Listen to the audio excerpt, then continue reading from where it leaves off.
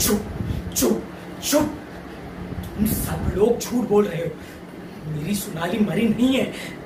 Please please inspector साहब, मुझे जाने दीजिए। वो मेरा इंतज़ार कर रही होगी। नहीं नहीं, वो मरी नहीं है। वो तो सो रही है। मेरा इंतज़ार कर रही होगी। उसके जागने के पहले मुझे वहाँ पहुँचना होगा। प्लीज़ प्लीज़ मुझे जाने दीजिए। मैं आपके पैर पड़ता हूँ। प्लीज़ अगर मैं वक्त पर नहीं पहुँचा, और अगर वो जाग गई होगी, और वहाँ अगर दर्शिल आ गया तो वो उसे उसे शादी करके ले जाएगा। इसलिए उसके जागने के बाद मेरा वहाँ होना बहुत ज़रूरी है, बहुत इंपॉर्टेंट है। प्लीज़ प्लीज़ मुझे जाने दीजिए। प्लीज़ नहीं नहीं, मैंने नहीं मारा है उसे। मैं नहीं मार सकता उसे। मैं तो प्यार करता हूँ उसे।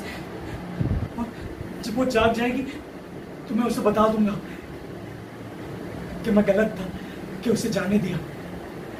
ऐसा एक दिन, एक पल भी नहीं गुजरा होगा मेरे दिल ने उसकी याद नहीं दिलाई होगी। मैं बता दूँगा उसे कि मुझे किसी और की ज़रूरत नहीं है, ना मेरे फैमिली की, ना माँ की, ना डैडी की। किसी की भी नहीं। प्लीज़ इंस्पेक्टर साहब, प्लीज़ मुझे जानने दीजिए। मैं आपके पैर पड़ता हूँ। प्लीज़ प्लीज़ जानने दीजिए। उसके जागने के पहले मुझे वहाँ पहुँचना होगा। वो कभी भी जाग सकती है। प्लीज़। हाँ। देखिए अगर आपने मुझे जाने नहीं दिया तो मैं आप सबको मार दूँगा। मार दूँगा मैं सबको। जो भी मेरे और सोनाली के बीच में आएगा मैं सबको मार दूँगा। आ, मेरे मम्मी पापा वो मानने को तैयार ही नहीं थे। मैंने कई बार उनको समझाया। पर उन्हें तो बस पैसा, दहेज और ऊंच नीच, इसके अलावा और कुछ दिख ही नहीं रहा था। अपने खुद के बेटे का दर्द भी नहीं दिखाई दे रहा था। तड़पा रहे थे वो मुझे।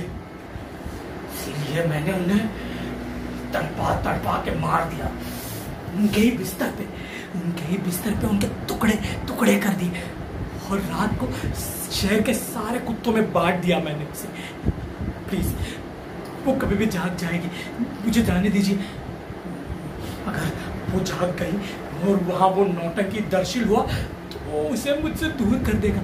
प्लीज़, मुझे जाने दीजिए। नहीं, मैंने नहीं मारा। नहीं, मैंने नहीं मारा उसे। मैं कह तो रहा हूँ, मैं नहीं मार सकता उसे। थर्टी फ़र्स्ट के रात दर्शिल के साथ थी। पार्टी के बाद दर्शिल और वो दोनों साथ में बाहर निकले। मैं उनका पीछा करते हुए उनके पीछे पीछे देखा देखा तो वो दर्शिल को अपने रूम में ले रही थी। मैं हैरान हो गया। मुझे बहुत गुस्सा आया। मैंने उनका पीछा किया। मैं मैं उसके घर में घुस गया और मैंने मैंने दर्शिल को मार दिया। मार दिया मैंने दर्शिल को। नहीं, सोनाली सोनाली को मैंने नहीं मारा। मैं नहीं मार सकता उसे। नहीं मैं दर्शिल को मारने के लिए उसकी ओर दौड़ा। तो सोनाली बीच में आ गई। मैंने उसे खींच के फेंक दिया। और, और दर्शिल को दर्शिल को मैंने सौ बार सौ बार उसके पेट में चाकू घुसाया। उसके छाती पर बैठ कर लगभग पंद्रह मिनट में उसके पेट में चाकू को बहस रहा था। उसकी सारी हथेड़ियाँ बाहर निकाल दी मैंने। जब मैंने पलट के देखा तो तो सोनाली दीवार से टकरा कर गिर गई थी। और वहीं सो गई। तो, तो मैंने मैंने जल्दी जल्दी जल्दी जल्दी मैंने सोनाली को उठा लिया और और उस चाकू को भी उठा लिया।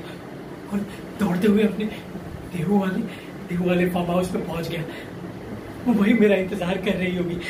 देहू वाले फार्म हाउस पर। प्लीज़ प्लीज़ इंस्पेक्टर साहब मुझे जाने दीजिए। देहू वाले फार्म हाउस पर वो मेरा इंतज़ार कर रही उसे वो घर बहुत पसंद है। वहाँ वहाँ वो हरे पहाड़ खुला आसमान उसे उसे उसके गाँव की याद दिलाती है। हम हम कई बार गए हैं वहाँ बारिश में वीकेंड्स मनाने। वहाँ इंतज़ार कर रही होगी कभी भी उठ जाएगी। प्लीज़ प्लीज़ मुझे जाने दीजिए। मैं, मैं प्रॉमिस करता हूँ बस एक बार बस एक बार मुझे उससे मिलने दीजिए। मैं वापस आ जाऊँगा। प्लीज़ प्लीज़ इंस्पेक्टर साहब मैं प्रॉमिस करता हूँ। मम्मी डैडी की प्रॉमिस प्लीज़